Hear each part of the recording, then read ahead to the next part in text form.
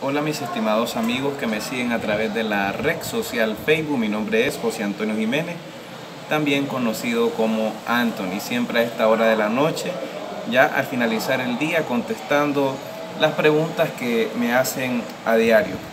Agradezco mucho el apoyo que han dado a este segmento, las sugerencias y todo pues este digamos el compartir de parte de ustedes para mí y de yo para ustedes, de mi persona para ustedes porque juntos siempre crecemos en el conocimiento de la fe, en el conocimiento de lo que es la moral, el amor, lo que es la vida. Bueno, siempre autoevangelizándome.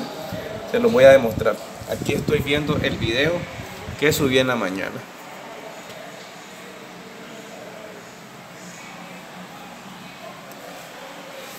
En mis momentos libres me gusta este, escuchar la palabra de Dios ya sea escucharla por mi persona o por cualquier otro predicador.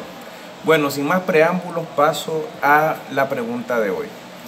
¿Cuál fue la pregunta que me hicieron hoy? Eh, la pregunta es la siguiente. ¿Qué opinas tú acerca de la frieza espiritual que se está dando en la iglesia? Bueno, la frieza espiritual ha sido un mal de toda la vida. El problema no es que haya frieza espiritual. El problema es que como iglesia no estemos haciendo nada para este, detener este flagelo. ¿Por qué hay frieza espiritual? Porque hay indiferencia. Sencillo. Por el mismo motivo por el cual hay también este, indisciplina en los colegios. Por la falta de motivación de cada persona hacia los demás en un hogar, en una empresa, en una casa, eh, todo marcha bien cuando la cabeza está haciendo lo correcto. Pero cuando la cabeza no está haciendo lo que tiene que hacer, el cuerpo sufre. Entonces, ¿por qué hay mucha frieza espiritual en la iglesia? Sencillo. Porque este, nuestros líderes, de una u otra manera, no todos por supuesto, porque hay líderes que verdaderamente están dando todo por el Evangelio, pero ciertos están contagiando a la feligresía de una indiferencia religiosa por permitir ciertas eh, actitudes incorrectas de parte de estos mismos y algunos laicos. Me contaban el caso de un sacerdote que este, la humilía él la ocupa este, para hacer payasadas. O sea, le gusta hacer reír al público. Eh, este tema es muy delicado porque sin querer queriendo, como dice Chespirito, muchas veces queremos decir algo y, la gente lo malinterpreta. Eh, la homilía eh, no es una catequesis, es una enseñanza directa, precisa y concisa la palabra catequista significa explicar de manera que todos puedan entender. O sea, este, a la Santa Misa llegan moros y cristianos, llegan personas que están comenzando en la fe y llegan personas que están desarrolladas en la fe.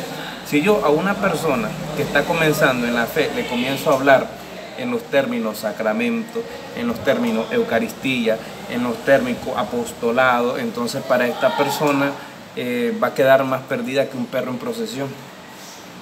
Hay muchos que dicen, no, la humildad es una catequesis. No, no, no, un momento. Puedes catequizar al que ya has evangelizado.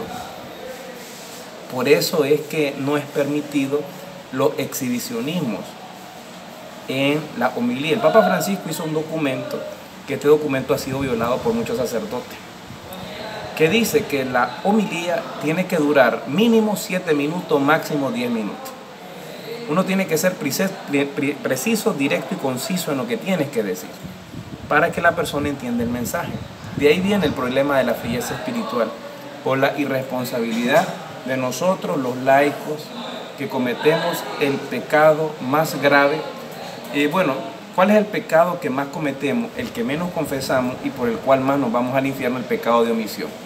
Nosotros en parte tenemos la culpa de que nuestros presbíteros no estén haciendo lo correcto porque no tenemos la, la valentía y la fraternidad cristiana de decirle enfrente sus verdades, porque tenemos miedo que nos regañen, tenemos miedo que se enojen y lo peor, tenemos miedo de echarnos de enemigo a la gente, porque lamentablemente nosotros nos hemos convertido en alcahuetes del pecado. Aplaudimos lo malo solamente porque es fulanito de tal y no tenemos que ser eh, delicados en este aspecto porque quien tenemos que honrar es a Cristo, no a los hombres.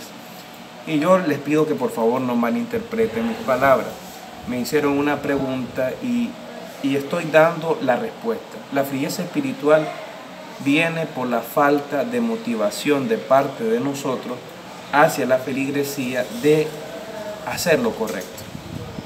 Bueno, les agradezco mucho este tiempo este, que me han brindado, ya la respuesta está. Siempre estoy anuente a contestar sus preguntas. Yo les pido por favor que no malinterpreten mis palabras. Yo no tengo nada en contra de ningún sacerdote ni de, ningún hermano. Todo lo contrario, yo rezo por los sacerdotes, principalmente por los sacerdotes que tienen muchos problemas. Para mí es una bendición poder rezar por mi párroco, el padre Marco Francisco Díaz Prado, su vicario, el padre Manuel, y por todos los sacerdotes. Eh, y yo pienso de que aquí el problema no es tanto ver el error, sino que la situación es ver la solución, porque el catolicismo, aunque no duela, está bastante deteriorado hoy en día. O sea, hay apostolado, pero ha bajado bastante. Bueno, bendiciones para todos. Eh, pasen buenas noches, que descansen. Nos vemos hasta en la próxima, si Dios así nos lo permite. Les quiero mucho, los llevo en mi corazón y en mis oraciones. Y gracias que también yo sé que ustedes rezan por mí.